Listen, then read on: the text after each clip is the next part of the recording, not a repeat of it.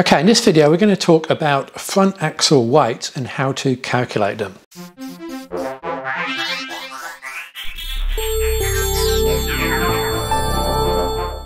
Now there's an important concept to understand about front axle weights and I'm going to use this four-wheel drive model to demonstrate it. The same concept applies to rear axle but we're talking about front axle weights here.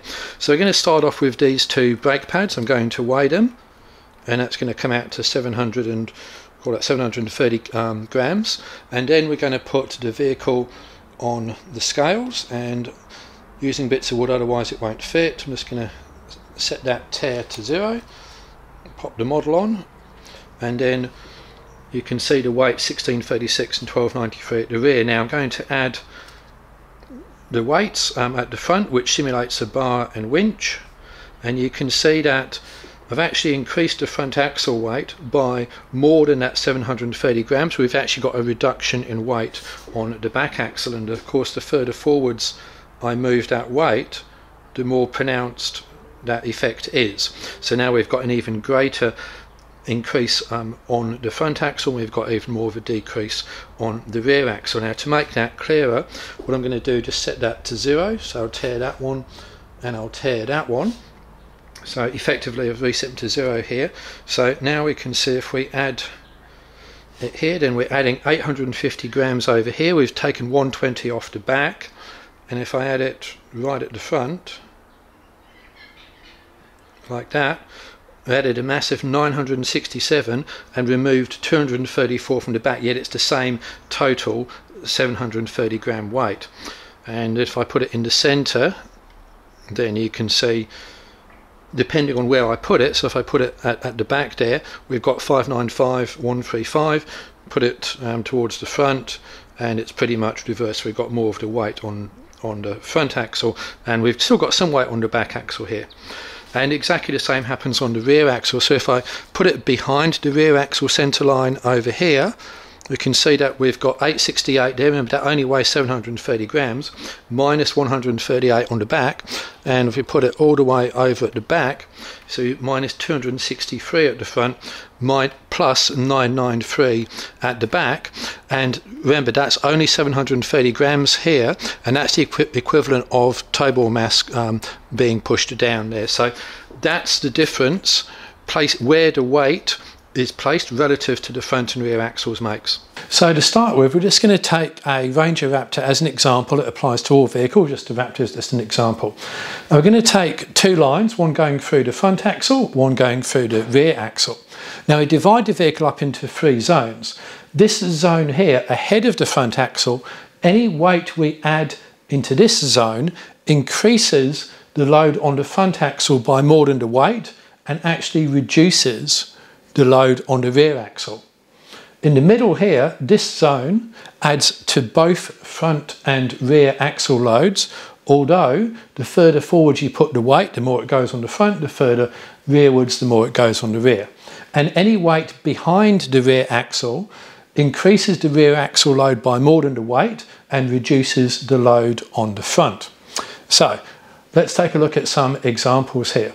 Now we'll take that Raptor again and we'll take a bull bar we'll add a winch, a light bar, underbody protection, and we're going to add some recovery points. Now, all of that comes to 150 kilograms, but the question is, as we're adding it ahead of the front axle here, what effect will that actually have on the front axle weight itself? Because it's not going to be 150 kilograms. So here's how we do the calculations. We start off with the wheelbase, which is the distance between the front axle and the rear axle. In the case of the Ranger Raptor, it's 3270 millimeters. Then we take a look at the front overhang. So this red line here, that represents the center of gravity of where we're going to add pretty much all of those accessories with one exception. And I've calculated that to be 635 mil. Now we know that if we add, let's say 100 kilos here, that might be 120 here and it might be the corresponding um, 20 off the back. Now to find out exactly how much we can simply divide the overhang by the wheelbase and that gives us 20%. So that means that 100 kilos here we add 20% on that 120 is what's going to be on the front axle. So let's see how that looks in practice. Now, if we take the bull bar first, the bull bar's weight may be 80 kilograms, but because with modern bull bars, you always take something off the car, there's trim to come off, etc. The total weight going on the car is typically less than that. In this case, I'm assuming it's 10 kilograms off and 70 kilograms is going to get added to the car. Now, if we add up 70 kilograms at this point, we add in our front axle factor of 20%, we multiply that by 1.2, our 70 kilogram bull bar actually puts 84 kilograms on the front axle and takes 14 off the rear axle. Then if we go to the winch, the winch is just going to again be in line with this red point here. Um, we're going to add 30 kilograms, not going to take anything off. So that's 30 kilograms um, to the car, 36 on the front axle and 6 off the rear axle. Light bar, similar thing. Um, you, obviously light bar does, doesn't weigh very much, but every kilogram starts to add up because front axle limits aren't all that great. Um, recovery points, we're adding another 10 kilograms here. That might be 12 on the rear axle and 2 off the rear, but um, overall 10 to the, to the vehicle um, itself. Now, finally, the underbody protection. Now, this one's a little bit different because that yellow mark here indicates where I think it's likely to go. And I think that will balance probably fairly equally on the front axle. So all we're doing there, we're taking that 25 kilograms and just adding it to the front axle and it doesn't have a multiplying effect on the front axle and it doesn't take anything off the rear axle. Obviously, if the underbody protection was mostly forward of the rear axle, that will change, but this is just an example. So you're wondering, okay, where how, you know, where does this actually come out to? What, what's the final figure? Remember, all of these weights here are just approximate to show you the principle. Okay, so with that 20% front axle factor, with the bull bar, the LED bar, um, the recovery points and the winch, we're adding 115 kilograms um, to this point here. And that means that we're adding 138 kilograms to the front axle and taking 23 off the rear axle. Now we're going to add the underbody protection which is 25 kilograms straight down this line here so we're actually adding 163 kilograms in total to the um, front axle. So that's a bit different from the 150 which everything added up to when it was just sitting on the workshop um, ready to be installed. Now, what about short wheelbase vehicles? Well, that changes a bit because we've got a shorter wheelbase here. And you can see that, say 115 at the front, that translates to now 145 at this point, And the factor here is now 26%, which is high because that wheelbase is getting shorter. Now you're thinking, okay, well that's a short wheelbase Wrangler. What does it look like for long wheelbase? Well, I have the answers here as well.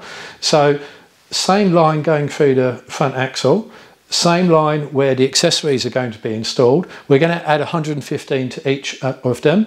Different wheelbases, so obviously shorter wheelbase there. 26% is our front axle factor for the short wheelbase, but only 21% for the front for the long wheelbase. And what that means is that the 115 kilograms here translates to 145 on the front axle, but only 139 for the long wheelbase. And then we've got 30 off the rear axle here and 24 off the rear axle there. So short wheelbase vehicles are more likely to run out of front axle load than the long wheelbase vehicles. Now, what about Suzuki Jimnys? Well, very short wheelbase, but also very short front overhang. So it actually comes out to pretty much the same as the long wheelbase because what's important here is actually the ratio of the wheelbase to the front overhang, not just the wheelbase or not just the overhang. It's that ratio which is important for the relative effect of adding weight at the front of the car onto the front axle load. So I'm going to demonstrate that point about the wheelbases using this Lego model and the weight I'm going to use to do it is this shackle which weighs 300 grams. So we'll take that off, we'll put the model on and I'm going to again reset the tare weight to zero so that scales read zero with that. I'm going to add 300 grams onto the front axle here and as you can see that's 390 added to the front and minus 90 off the rear so again that's in proportion. Now what we're going to do, take that off and we're going to shorten the wheelbase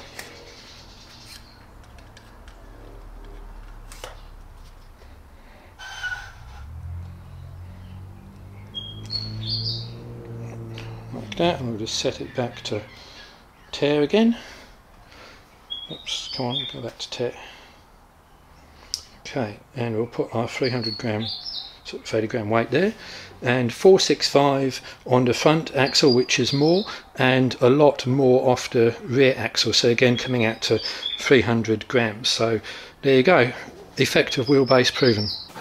Okay, so to summarise then, adding weight ahead of the front axle will always add more weight to the front axle than you actually add to the vehicle.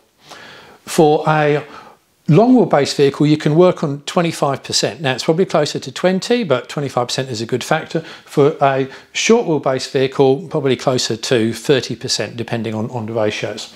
And remember, the same effect is on the rear, including for tow ball mass, and I have another video where I explain that. So you add 200 kilograms of tow ball mass, you're actually probably going to be adding more, well, probably over 300 kilograms onto your rear axle, even though the tow ball mass has only been 200 kilograms.